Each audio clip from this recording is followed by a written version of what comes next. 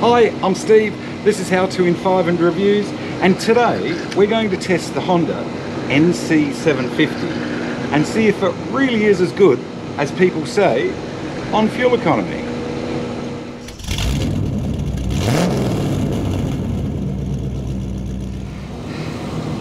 If you're new to the channel, welcome. If you're a return viewer, welcome back. And not so long ago, I did a review on the Honda NC750. And that review was a very successful review. A lot of people have watched that review.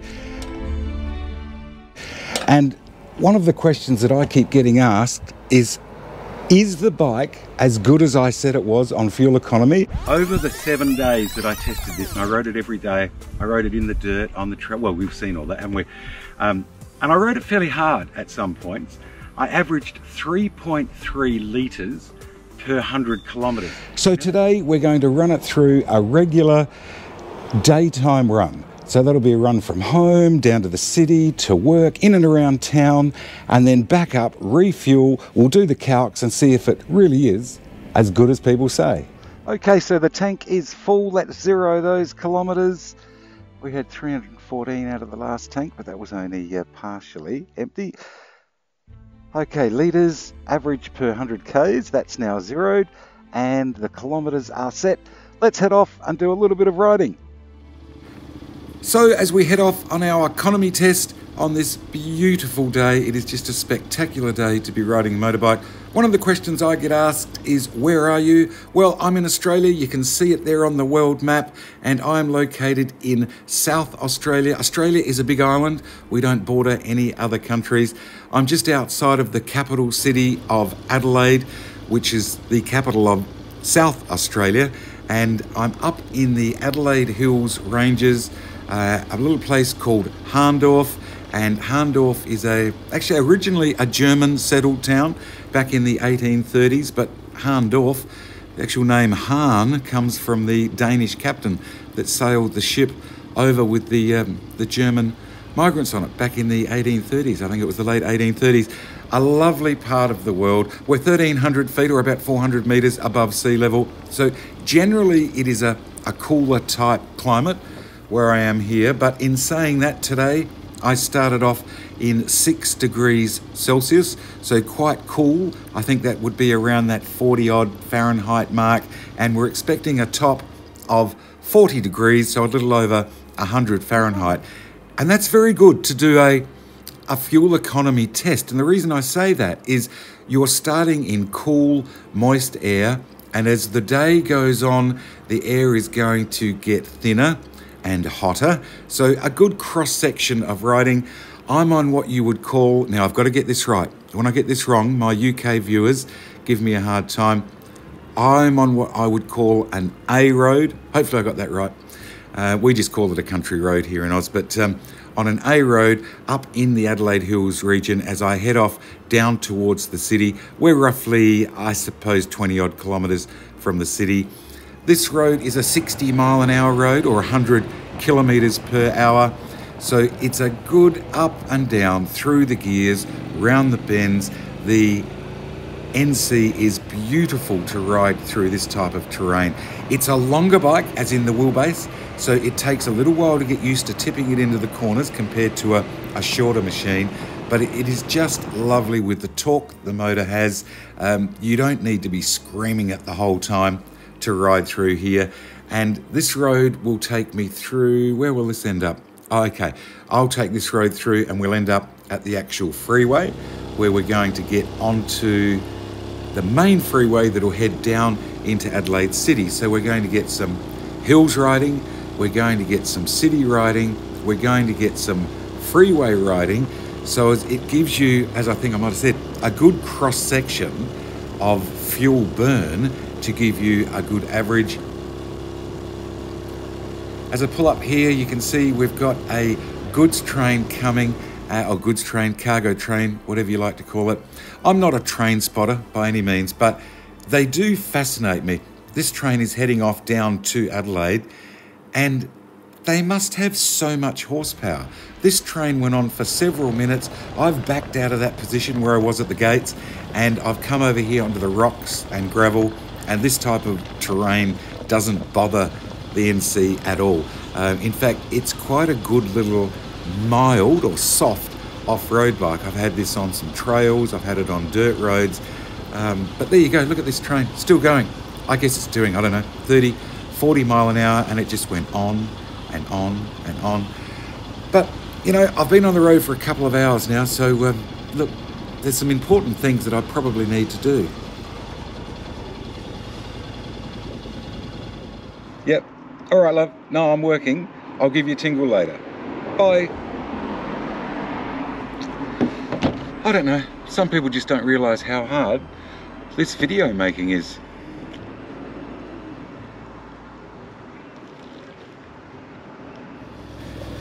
Ah, so half an hour later or one cappuccino later, we'll head out onto the freeway, motorway, um, highway, whatever it is you call it in your part of the world. And this is 110 kilometre an hour zone, which is about that 70 mile an hour. Actually, I think it's about 69 mile an hour or something for the 110. You know, I think one of the big benefits of this bike, and uh, in answer to your question, yes, it's more than capable of freeway travel, highway travel. It is smooth, it is quiet. Oh, this one's a little bit louder, of course, because it's got the um, the aftermarket breathy exhaust on it. But it's more than capable of travelling on the highway, and it's the low revving nature of this motor. Um, it's an under square motor. So, what does that mean? The cylinder diameter is less than the stroke, so the amount that the piston goes up and down. So, it's a very low revving motor. It's good on torque, maybe not as high on horsepower because it's not screaming, but um, it's a lovely torquey machine and you don't need to rev it high. As an example, and you can compare it with your current motorcycle that you may have, at 2,900 RPM in top gear, it has a six speed gearbox. It's doing just on 100 kilometers an hour or around that 60 mile an hour mark. And when I had it out on the track at 160 kilometers an hour, that's a 100 mile an hour, it's doing 5,000 RPM. And to put that into perspective, um, at 100 mile an hour or 160, 5,000, the Royal Enfield Himalayan that I did the review on recently at 5,000 RPM was doing 100 kilometers an hour or 60 mile per hour. So this is a very low revving, although it is a twin, not to forget, the Himalayan was a single, but um, it is a very low revving motor, and I think that is where it picks up its, its wonderful fuel economy. As I came through here in the tunnels, I actually pulled the clutch in and gave it a good rev so you could hear how beautiful this Honda Twin sounds. But um, the microphone had a dummy spit and it didn't record it, so you'll just have to take my word for it. It sounds lovely. So we've worked our way now down out of the hills and we're into the city.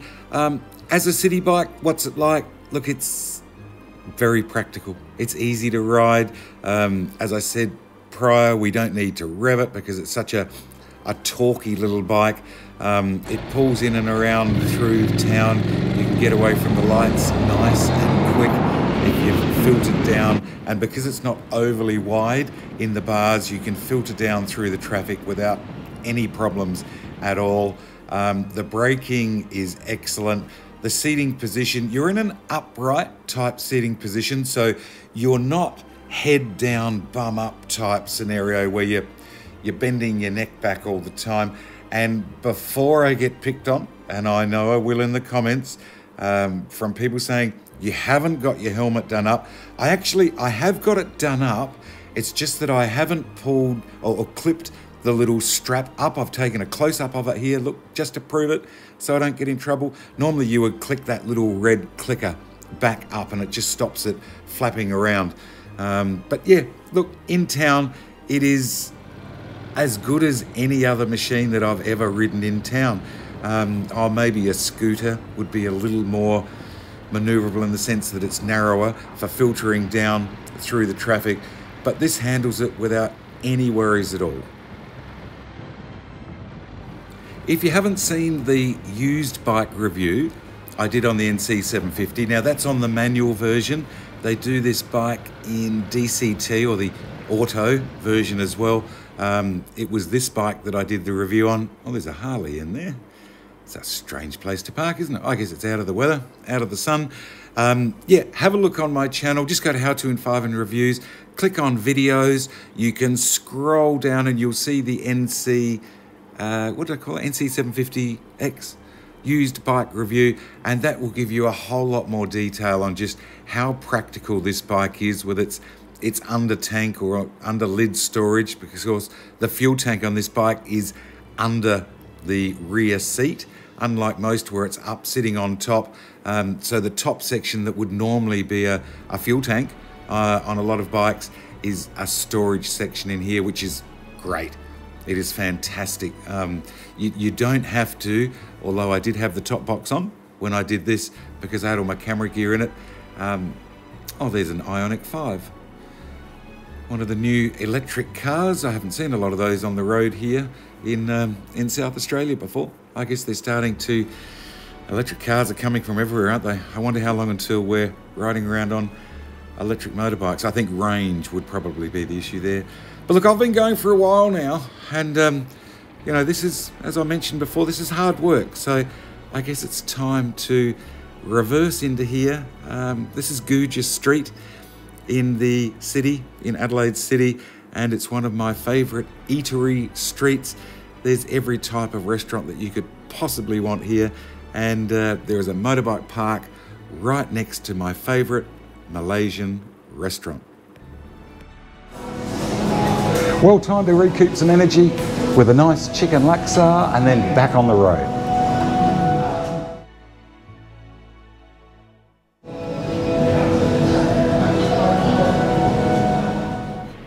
Whew, okay, well, back on the road again and uh, it's starting to get up around that 40 degree mark here in the city. starting to get quite warm. So in Adelaide, as with a lot of the capital cities around Australia um, that are located very close to the coast, you can hop on the bike, zap down. It's only about 15 minutes and you're down at the beach. So that's what we'll do. Down at the beach now, this is about, I guess, 15 minutes later. We'll find a park here for the bike and zap in and have a quick swim. The water looks nice. Quite busy down here today. I guess uh, 40 degree days or 100 degree days will do that. But um, we'll find a park, zap in, have a quick swim, and then back to it.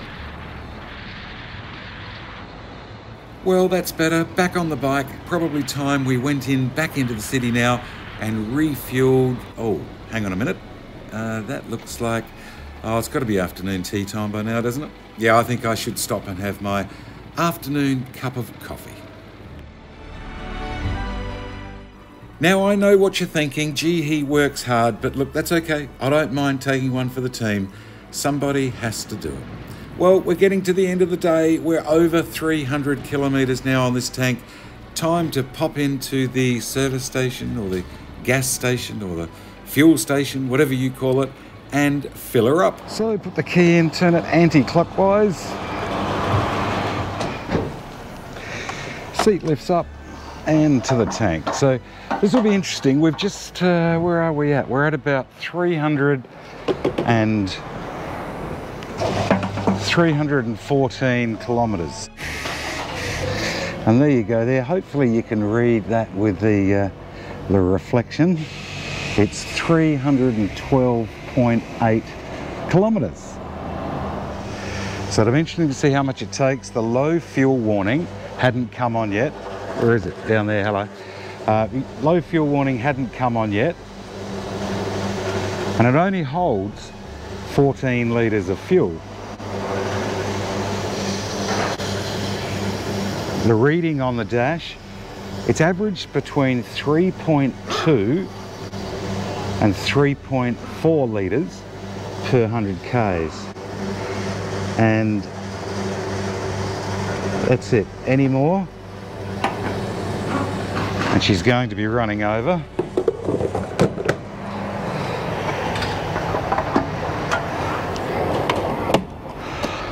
So I'm not sure if you can read that or not. 9.91 litres, so just under 10 litres of fuel. That was $18.82 at $1.89.9 a litre. So uh, yeah, we'll crunch some numbers. So what was the final wash? Well, no matter where you are in the world, you're probably sick of putting your hand in your pocket. It's the reason you're watching this video. It's certainly not for my good looks. Fuel is expensive and the NC is a very economical bike. So what are the final numbers? Here we go. As the instrument panel showed, it was just shy of 3.3 litres per 100 kilometres. That's 74.5 miles to the gallon US or in Oz and the UK 89.5 miles to the gallon or if you like it in kilometres to the litre that's 31.5 kilometres to the litre. This is a super economical bike for a 750cc machine and if you're in the market for an NC 750 or whatever it is you may be in the market for, these really are a terrific, economical, super efficient bike to own. Look, if you enjoyed the video, don't forget to give us the thumbs up and subscribe. It helps the channel. And I know we had a bit of fun there with drinking coffee and eating and everything else, but a fair amount of effort went into putting this video together for you. So hopefully it helps if you're in the market for a good economical bike. But until next time, cheers.